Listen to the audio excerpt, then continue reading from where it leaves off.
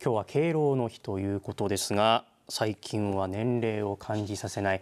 年を重ねてもこう元気な人が多いなという印象を受けます。そこで今回は今時のシルバーのお達者ライフ元気の秘訣を取材しました。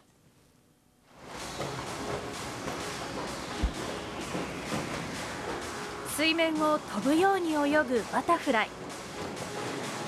力強い泳ぎを披露するのは松山市の熊谷治さん75歳です。このメダルは？これが世界マスターズの金メダルとでこちらはバタフライの銀メダルということで一応金と銀をゲットすることができた。熊谷さんは先月福岡市などで開かれた水泳の世界マスターズに初めて出場し 200m 個人メドレーで金メダル。50m バタフライで銀メダルに輝く快挙を達成しました。もうやったっていう感じですよね。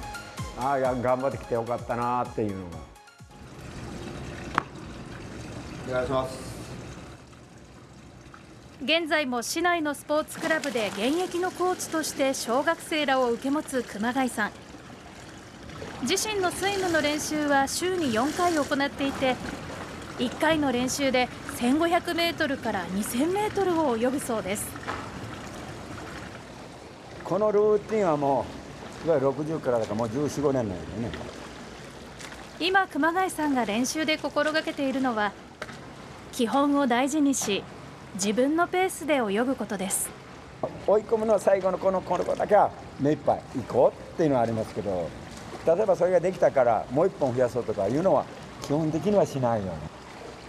自分のルーティンを決めたはそれ以上絶対欲張らない。もう早い遅い関係なくて自分のペースをいかに維持できるか。中学校から始めた水泳をずっと続け世界一に輝いた熊谷さん。競技を長く続けるにはサボる勇気も大切だと話します。サボる気持ちがないとそれは自分自身が空中分解しちゃうんでちょっとサボったっていう勇気があるとまた次のステップへいけるんじゃないかなと。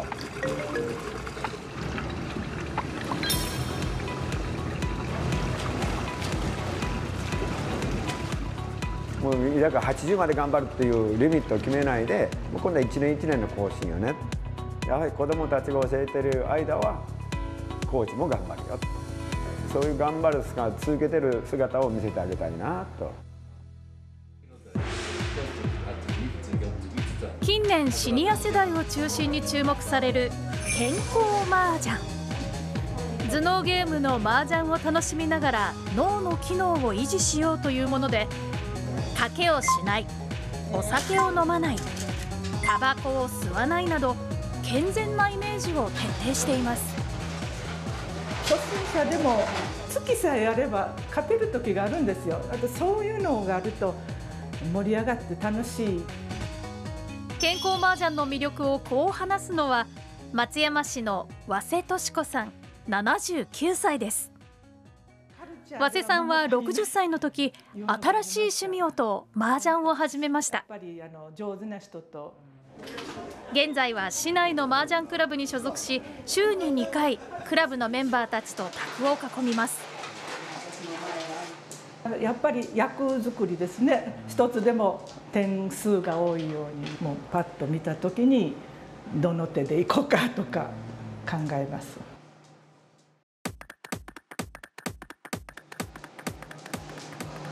あと一つが来ないね和瀬さんリーチをかけました。この後上がりの牌を自分で引くか相手が振り込むかそれとも対局が流れるか。勝負です。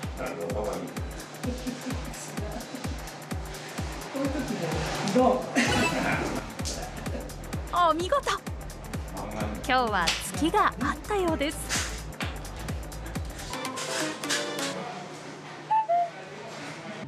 一曲目のあとあれはどうでした？勝ちました。あ勝ちました、はい。えー、ありがとうじゃあ1位で。疲れとかはないんですか？全然疲れないです、えー、あそうなんですか。麻雀して疲れることはないです。対局中目まぐるしく変わる展開の中で勝負どころを嗅ぎ分けいかに最適な手を繰り出していくか時間を忘れて健康麻雀を楽しむ和瀬さんの姿がそこにはありました。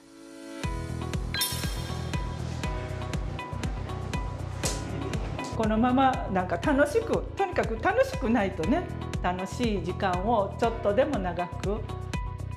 今時のシルバーのお達者ライフ。好きなことをマイペースに楽しむことが元気の源と言えそうです